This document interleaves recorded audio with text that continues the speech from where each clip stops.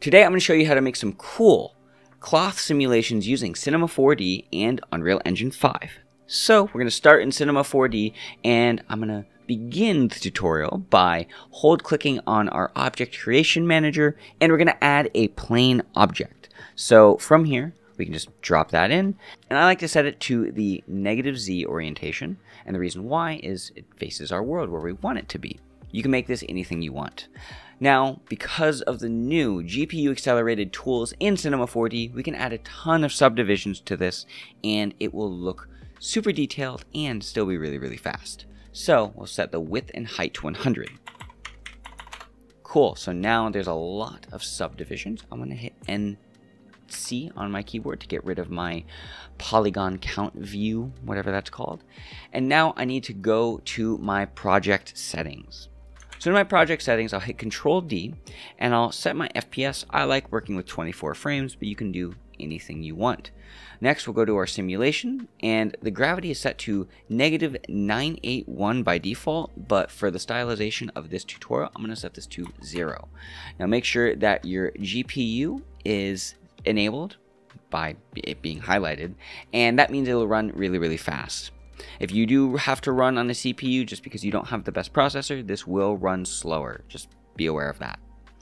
So with that done, you could also navigate to your simulation settings. Most of these defaults are good to get you started, but if you need to increase the detail, feel free to adjust the smoothing iterations or the sub steps. But we'll talk about that in another tutorial. Now what I want to do is actually make our cloth. So we're going to right click on our plane, go to simulations and cloth. So now we have the cloth tab, and if we were to play this back, nothing's going to happen. That's because we don't have any forces acting upon our object right now. So we have to go to simulate at the very top, forces and turbulence. Now, if I play this back, not much is going to happen on the surface, but if I hit NB on my keyboard and I play this back, we can see a very subtle movement as we scrub through our timeline. And that's because the turbulence scale is really, really small. So if we crank this up just a little bit, and after we update the turbulence scale, we get a very cool, beautiful looking cloth animation. Now I want to show you how I did the example of this tutorial. So with this, I'm going to hit Control S to save. And then I'm going to go up to my Simulate tab and add a rotation. And what that's going to do is that's going to add a rotational force. And hey, that's cool, but we want it to affect just the center. So what we're going to do is we're going to go back to the beginning of our timeline and we're going to go to our rotation force and add a field. Instead of a linear field, we'll hold click and navigate to a spherical field. So now if I play this back, we can see something's happening. It's cranking up the rotation just in the center. And that's kind of what we want. So now what I want to do is I want to increase the rotation effect by bringing up the angle speed maybe to like 70 or 80 somewhere around there. And then I want to go to my spherical field and then go to remapping. Now I want this to be the most prominent in the center and then fall off as it gets further away. So I'll just bring my inner offset in. And then I want to go to my spherical field hit T on my keyboard and scale it down just a little bit. Cool alright so let's play that back and it's doing a little bit of rotation. It's kind of hard to see there. And what I'm going to do to just really amplify this is I'm just going to crank up that rotation to like maybe 200 and play that back.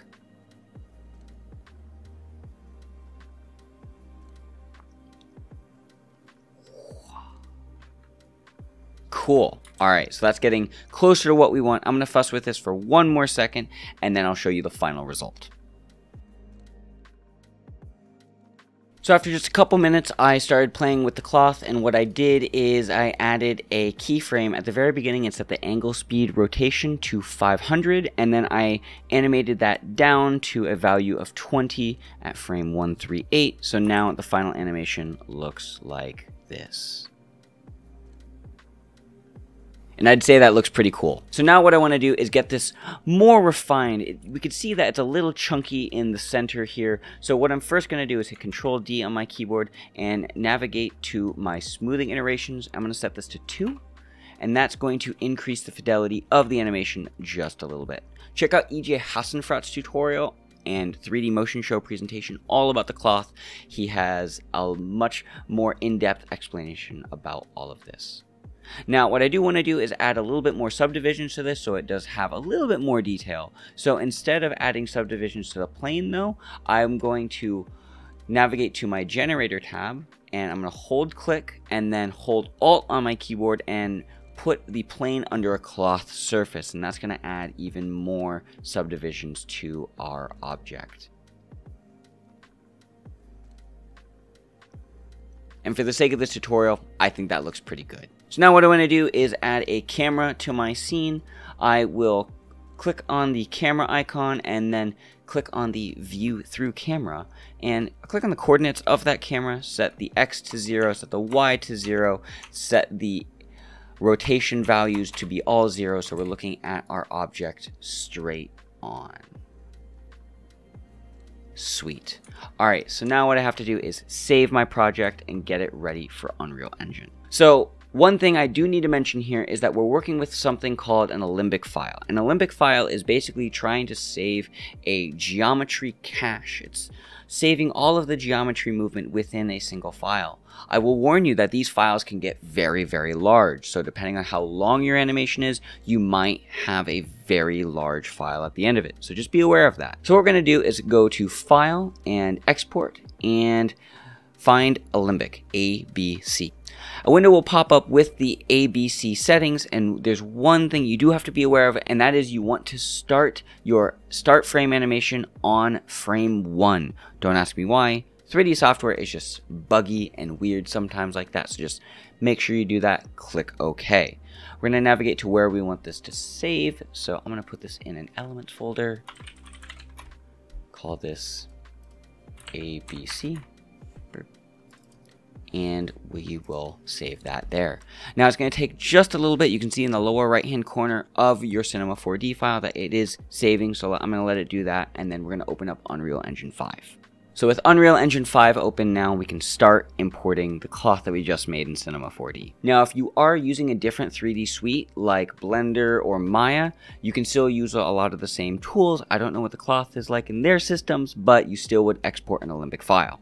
So let's import that Alembic now. We can right click on our content browser and go to new folder. We'll call this ABC for Alembic and we will double click that.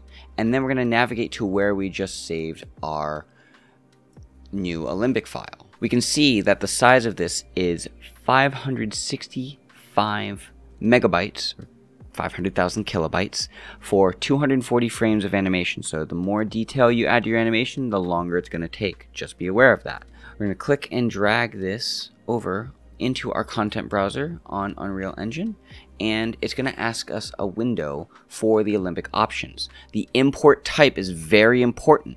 So make sure the frames start at 0, different from Cinema 4D. We want the C4D to start at 1, but this one is at 0. And then the geometry cache we want to make sure that is enabled. Everything else we can leave at default.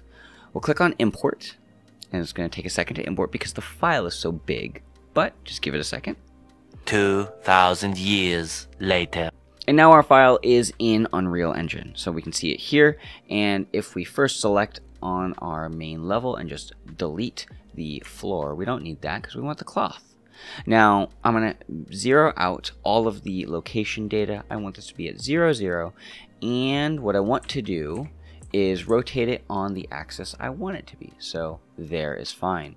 Now we need to be able to play this back. So the first thing we're going to do now is right click on our main content folder and make a new folder. Call this sequences. And within that, we'll right click animation level sequence. We'll call this cloth sim play, whatever you want. Double click on that. Now we can go to our cloth tutorial object and drag this in. And then there's one more thing we need to add, and that is a geometry cache. So on this object, we can hit geometry cache. And if we play that back, hey look, there's some cool cloth. Now I'm going to make sure I have my settings matched from Cinema 4D. I know I did that in 24 frames per second, so I'm just going to set that to 24 frames. And then I'm going to drag out my endpoint to the end of that animation. Now, we could import the Cinema 4D camera, but that's a whole separate tutorial. What we're instead going to do is just click on the hamburger lines up here, click on Create Camera here, Cine Camera Actor. We're going to drag this into our level sequencer. It's in our outliner now, and we can see it creates a camera cut track. And then with our camera actor, let's just zero out our Y and Z settings and then all of our rotation data so that we're looking straight on again. Now the default of the camera actor is to look at things with an 11.88 millimeter focal length, but that doesn't look good. We're going to set this to let's say a 50 and now we can see it's a little blurry. That's because the depth of field is not focused where we want it to be. So we'll go to our focus settings of our camera, hit the eyedropper, and click on our viewport. And for some reason, it's not working. So we can just change our value to see that. And now if we play that back, how cool. Now the 50 is probably a little bit too punched in. So instead, I'm going to set this to maybe like a 24 millimeter and that looks pretty solid. Now we need to add a material to this. So I'm going to right click and add a new folder. And we'll call this materials. And you can find any material that you want. If you have assets that you've already used before, use those. I'm going to use something from Grayscale Gorilla. I just like their stuff. I am not sponsored by them, but hey, they make really cool presets and such. So I'm going to find a nice texture from Grayscale Gorilla and import that right now. And one of the textures that I've been really playing with as of late is a nice leather. So I'm going to import a, let's just say a mint leather. We'll find all of these, drag these in, and I'm going to make this material really quick. So we're going to right click and add a material, and we'll call this mint leather. Double click on that, and with these material objects that we just dragged into our scene, we can put them into our node editor. Now this gray one right here is the roughness, so I'll plug that in. This non-default color is just uh, our color, base color. And then the blue-ish one is going to be our normal. So we'll pipe that in. And then we can hit save. Once your material is saved, what we're going to do is we're going to drag this material on top of our object. And hey, look, now we have a cool looking material on our cloth. And if we click on our sequencer, we can play that back. And I'd say that looks pretty legit. Now the last thing I'm going to do is I'm going to touch up the lighting just a little bit. So the default lighting in Unreal Engine 5 is okay, but we're going to tighten it up just a little bit more by deleting everything. In fact, we're going to click on the light source and the atmospheric fog and the skylight and the sky sphere and just get rid of all of it. We don't need it. And after we delete everything, we're going to go to our window and environment light mixer. This window will pop up and this is a super powerful tool where you can click on a skylight. Then we can add an atmospheric light. Then we can add a sky atmosphere, volumetric cloud, create height fog. And it gives us the base of what we need for lighting an outdoor scene in Unreal Engine. Now what we're going to do is go to our place actors panel and if you don't have that you can click on this little cube plus sign here and see the place actors panel right here and we're going to search here for a post process volume. We're going to drag this in. We're going to type in the search bar in the details panel of the post process volume UNB. We want to make sure that this envelops the entire scene. It's just a, a thing that you have to do. We're going to go to our exposure, metering mode, set this to basic. Exposure compensation is going to be enabled. The min and max, we want to set these to 1. So now we can see that the lighting's changed. It's basically trying to give us auto exposure, but we don't want that. We're artists. We want to control those things. So now we can click on our directional light, and if we hit Control L on our keyboard with our uh, viewport selected, we can start moving our light to try and get some shadows that we think look interesting and cool and fun. I'd say that looks pretty cool.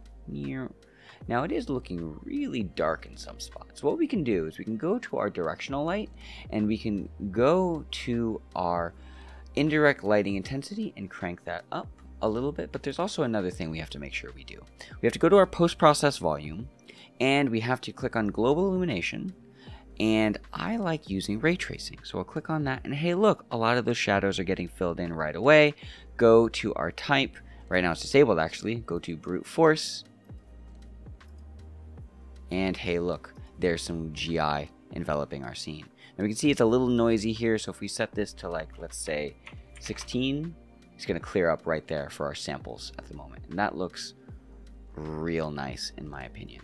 Now the last thing I want to do is add a plane object to this and that's just going to create our background. So we'll just add a plane from the shapes of the plane place actors panel and we will zero it out and we're going to instead rotate it towards us. So we'll hit E in our keyboard, rotate this down. If we click on the right axis, set the rotation to be 90 and then what we're going to do is scale it up to like what 500 and then I'm going to push it back in Z space. That way. Okay, cool. Now I do realize I did move my camera, so I'll just go ahead and reset that again. And then, nope, that There we go, right there. And then with my post-process volume, I can go in and touch up any other final details. Now, I'm not a huge fan of how harsh these shadows are, so instead I'm going to go to my source angle and source soft angle and crank these values up by a lot. Let's say 20, 50. Yeah, sweet. And then I'll go to my plane and just push that back even further. So we don't get that shadow we can adjust our lighting a little bit by hitting Control L and just moving our light around just a little bit so it looks a little bit more pleasing to whatever we want.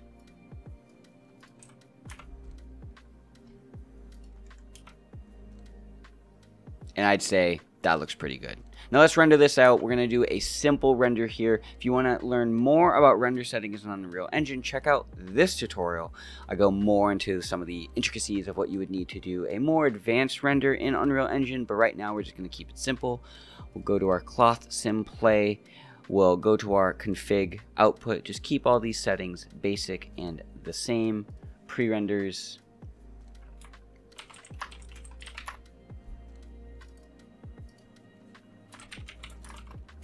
play 001, double click that, select folder, accept, and make sure we save our project before we hit the render button because sometimes it can be unstable.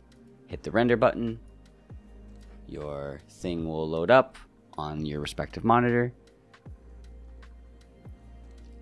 and that looks pretty cool.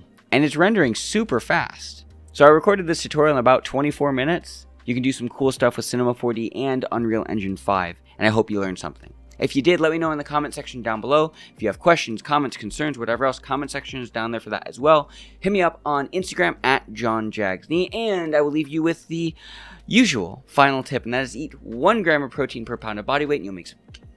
Goodbye, my friends. Bye.